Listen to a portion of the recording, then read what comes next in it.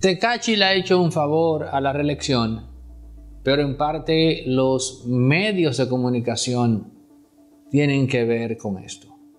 Esta semana que pasó, en el Congreso Nacional eh, tuvo curso un anteproyecto de ley de referéndum y todo eso, ¿no?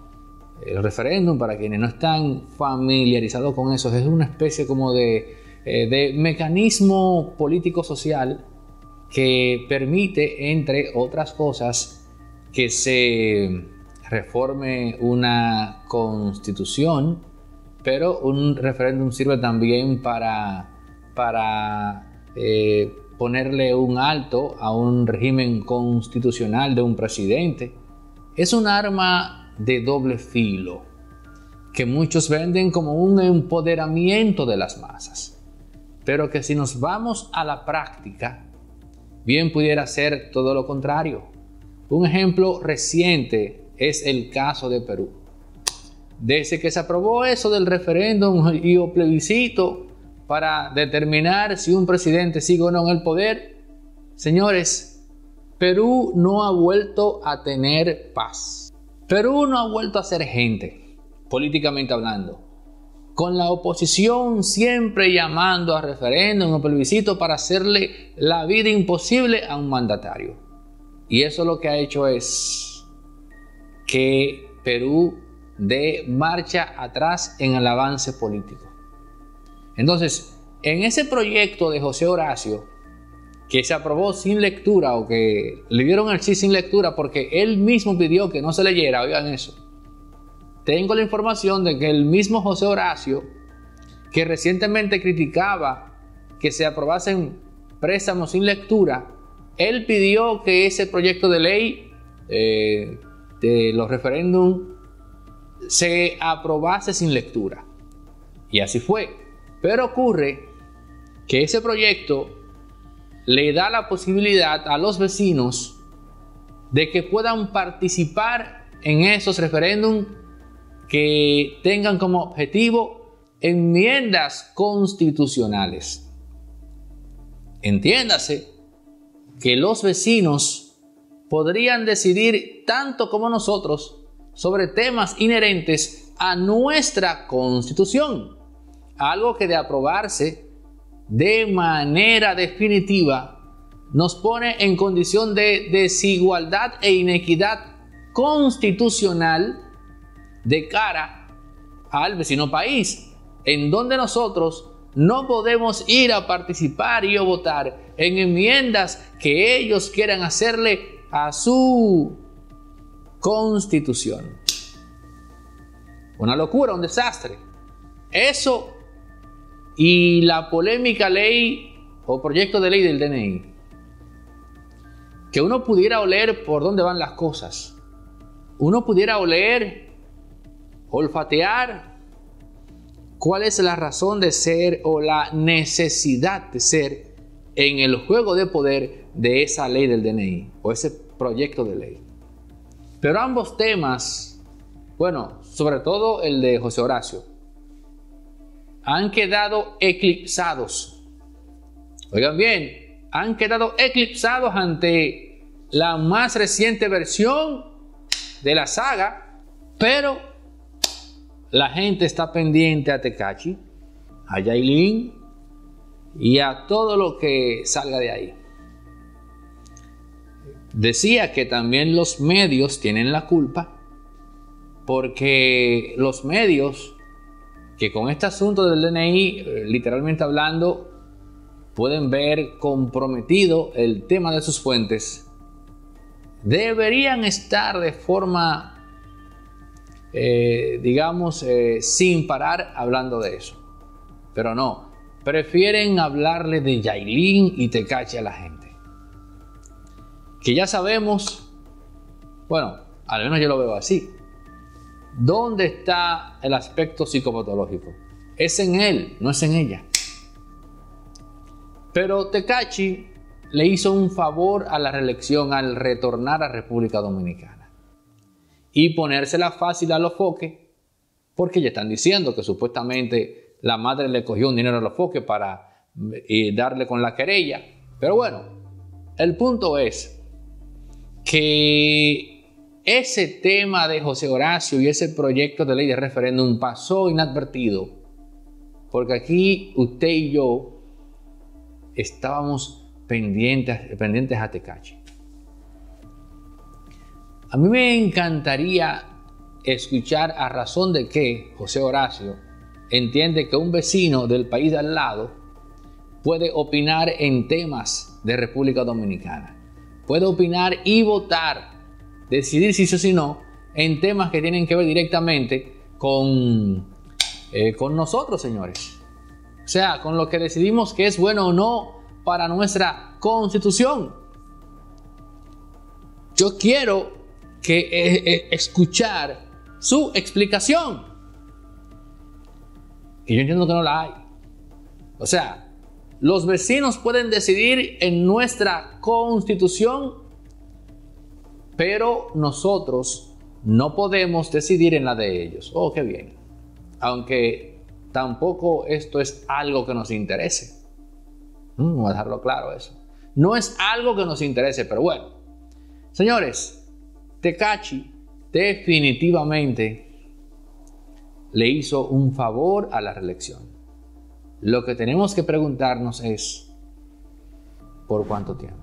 Eh, nuestra meta para este próximo año es llegar a los 300 mil suscriptores. Esto es gradual, como dicen por ahí, slow is the best way to go fast. Queremos 300 mil suscriptores de calidad, gente comprometida con nuestro contenido, la gente que cuando le nace compartirlo en sus redes, en su WhatsApp, Instagram, Facebook, en fin, porque esa es la mejor forma de ayudar a que esto crezca. Gente que comenta, gente que da like, dislike también. Queremos 300 mil suscriptores, pero de esos que interactúan constantemente en la comunidad aportando sus ideas y contribuyendo a que esto crezca. 300 mil suscriptores es la meta para el próximo año acá en Impolíticamente Correcto. Mi nombre es Ruby Morillo, eh, soy de aquí de La Vega y tengo 25 años. Yo soy estudiante de medicina. Yo llegué a la banca, fui a jugar unos números y a saludarla. Y ella me dijo que le jugara un agarra cuatro. O sea, me soñé algo con alguien, jugué la fecha de nacimiento y yo pues lo jugué, me saqué. Nada, yo no me lo creía cuando ella me dijo, me llamaron que se vendió el millón y fue mi banca que lo vendió. Ven a checar tu ticket porque fue la única que yo que lo vendió para mí. Nada, nos abrazamos y no me lo podía creer. Bueno, pues yo le solto a todo el mundo que juegue porque bueno. Eso fue, sí, eso fue un regalo de Reyes. Bueno, yo voy a usar mi premio para cosas de mi carrera, que bastante cara que es, y entre otras cosas. Yo me gané un millón gratis con Lotedón. ¿De Lotedón? Señores, la farmacia Medicar GBC sigue con su 20% de descuento en todos los medicamentos abiertos de lunes a domingo pero lo importante, lo más importante es que siguen en constante expansión en todo el país. Dentro de poco, literalmente, usted podrá encontrar una farmacia medical GBC cada cuatro o cinco esquinas. Así que bueno, porque ese crecimiento eh, viene por eh, el reconocimiento que ha hecho la población a ese trabajo, esa, digamos, esa disposición para hacer todo lo posible para que medicamentos esenciales lleguen a las manos del público. Por eso la farmacia Medicar GBC es la de nosotros, los dominicanos. Resorte Media es también productora audiovisual y aquí tenemos espacios eh, rentables para producir contenido pero también si tu empresa tiene una actividad fuera y va a hacer una transmisión en tiempo real, puedes contar con Resorte Media. También si necesitas alquilar equipos para filmaciones de películas o eventos, tenemos grúas de 40, 20 pies. En fin, otra cosa, artista independiente que tiene que hacer un videoclip en calidad 8K 6K eh, con imágenes eh, de stock, bueno, pues lo podemos hacer acá en circuito cerrado con los presupuestos más competitivos. Pero si también eh, requieres asesoría para la producción de contenidos en plataformas como YouTube, también puedes contar con nosotros. Resorte Media, todo lo que necesitas en todos los ámbitos cuando se trata de producción audiovisual. 829-741-3061.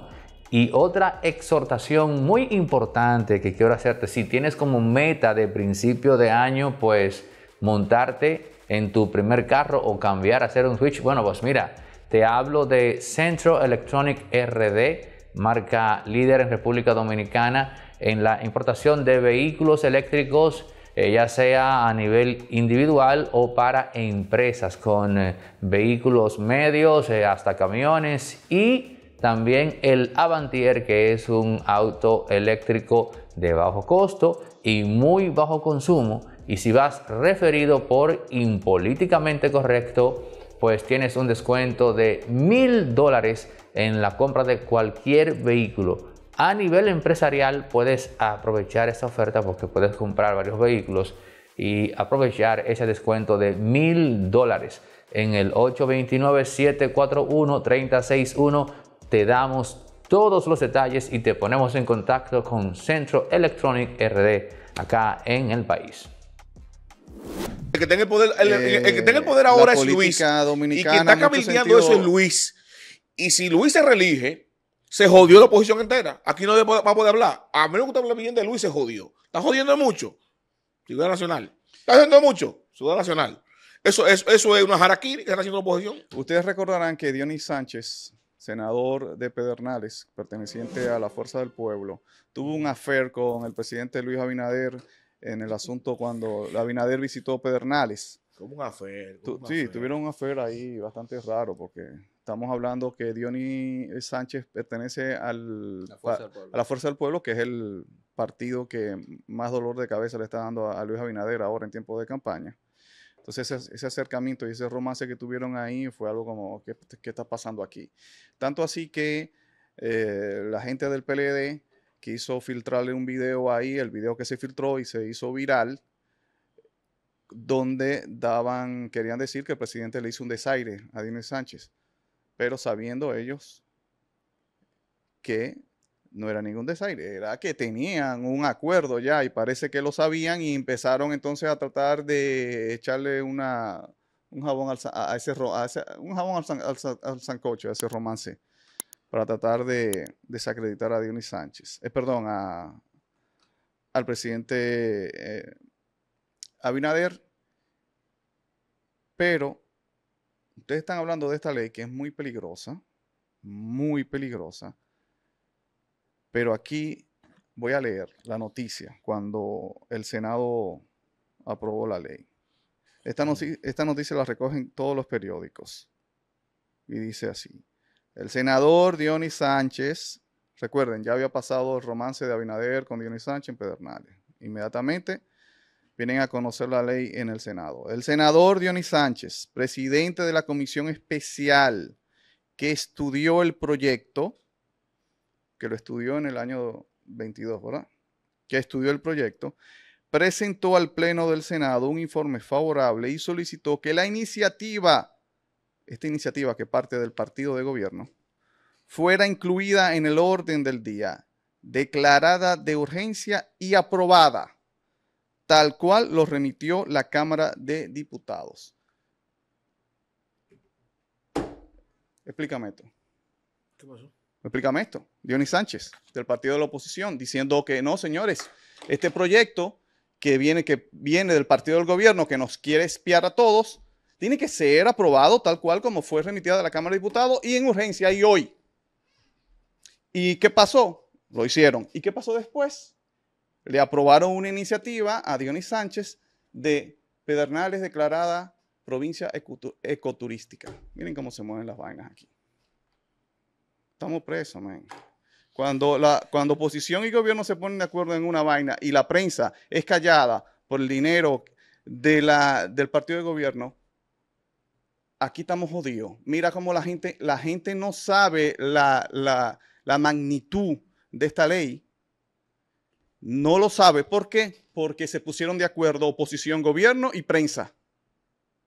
Y la gente no sabe lo que acaba de pasar, una ley tan grave como esta, no lo sabe. No tiene ni idea cuando estos tres poderes se ponen de acuerdo. Dionis Sánchez es un traidor. Es un traidor. No, yo te digo a ti, a menos que, a menos que, hermano, y fue lo que, lo acabo de explicar. Más adelante. A menos, el que no, yo, yo dije, yo di mi posición. Coincido contigo totalmente si, si la intención chapucera de sacarle capital político o de. ¿Verdad? que eso es político. yo entendí lo que tú estás diciendo. Que van a esperar que entonces para ir al constitucional. Pero señores, acaban de poner aquí en el constitucional. Claro, donde no hay ¿A quién Abinader acaba de poner en el constitucional? Pero que es el mecanismo que tenemos.